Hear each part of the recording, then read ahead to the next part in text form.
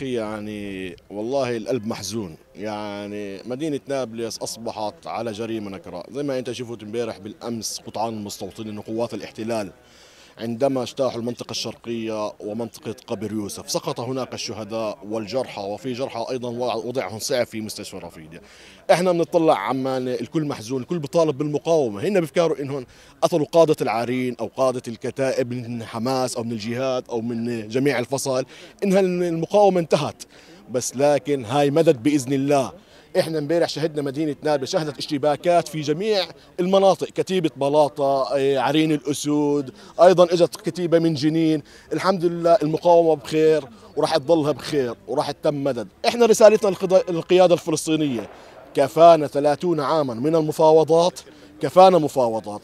مفاوضات عبثية هالمرة بدنا نقول لكم. بكفينا سكوت. نقول للإخواننا بالأجهزة الأمنية أيضا يجب أن تطلقوا يد المقاومة وأبناء المقاومة من سجون أريحة وسجون أبناء جلدتنا السلطة الفلسطينية. اليوم الاحتلال لا يفرق بين ابن أجهزة أمنية بين ابن حماس ابن فتح ابن الشعبية لا يفرق بين كبير وصغير. الحل الوحيد هو المقاومة. جربنا المفاوضات 30 سنة شو هي النتيجة اللي طلعنا فيها؟